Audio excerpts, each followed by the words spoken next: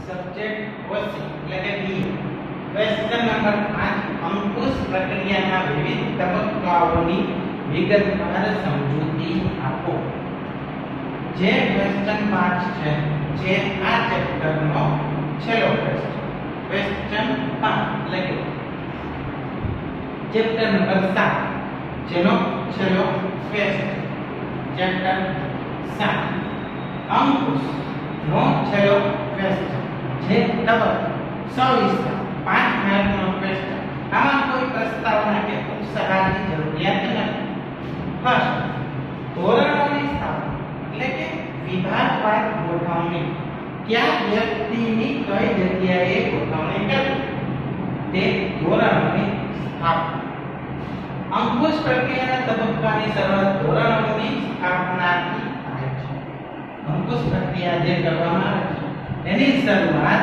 ધોરણોની સ્થાપના જે ધોરણ, જે વિભાગવાર ગોઠવણી છે, એ ગોઠવણી અહીંથી અહીંથી કરવામાં આવે છે. એટલે અહીંથી આની શરૂઆત થાય છે. ધોરણો કે પ્રમાણો એક પ્રકારના માપદંડ છે.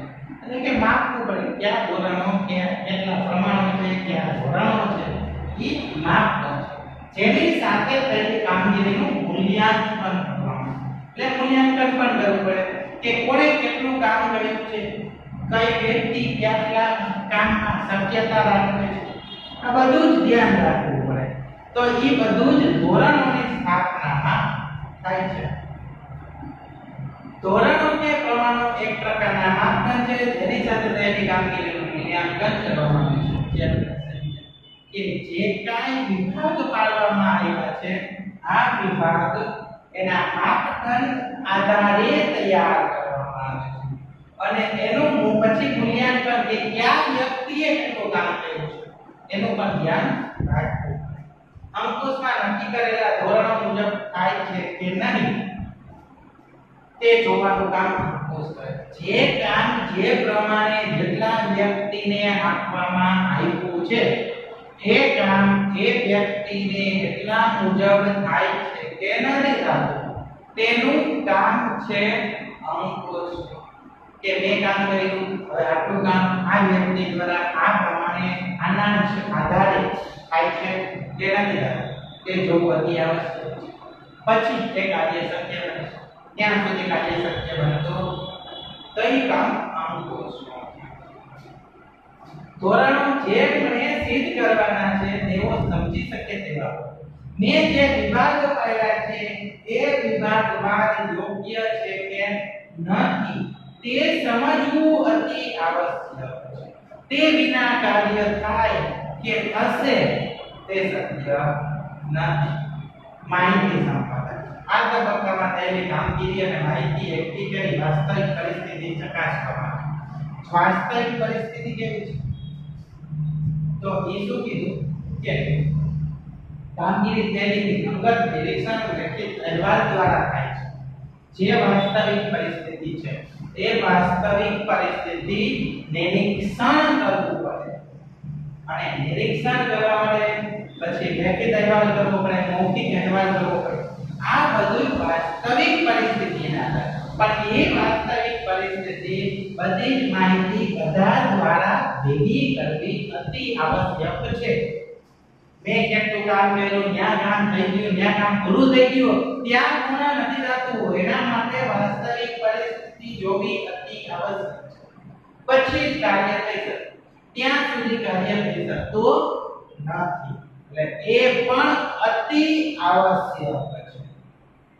પછી આવે છે કામગીરીનું માપન. જે કામ, જે પ્રમાણે, જે ક્રમ અનુસાર આપ્યું છે, એ ક્રમ અનુસાર થાય છે કે નહીં એનું માપન કરવું જરૂરી છે. તો જ તે કામગીરી થઈ શકે નકર કામગીરી થઈ શકતી નથી. કામગીરી કરવા માટે જે કાર્ય અતિ આવશ્યક છે તો જ શક્ય છે. બાકી શક્ય નથી. એટલે જ કીધું છે કે નક્કી કરેલા ધોરણો માટે થયેલા કાર્યની માપણી કરવી જરૂરી છે.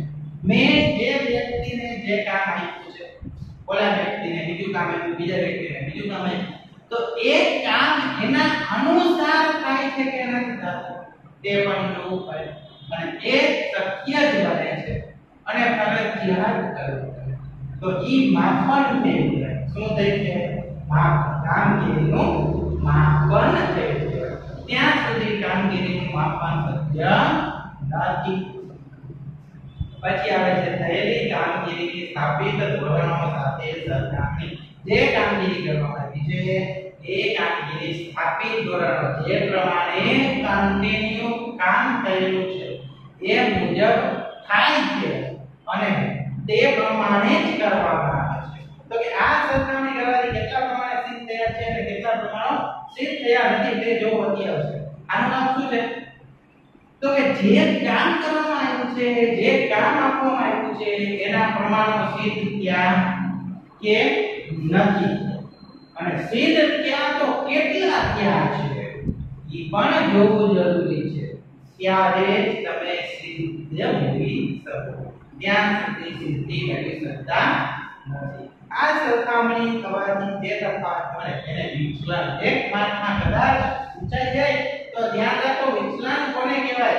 તો કે સરખામણી કરવાથી જે પ્રમાણો સિદ્ધ થયા છે કે નથી ક્યાં અને ત્યાં હોય તો એમાં તફાવત શું મળ્યો છે? અને આ જે તફાવત મળે છે, એને કહેવાય છે વિચલન. એટલે વિચલન પાણીમાં વિચલન મીન્સ તફાવત. બે આ એક કામ કર્યું બીજું કામ કર્યું આ બે કામ વચ્ચે જે તફાવત છે, એને શું કહેવાય?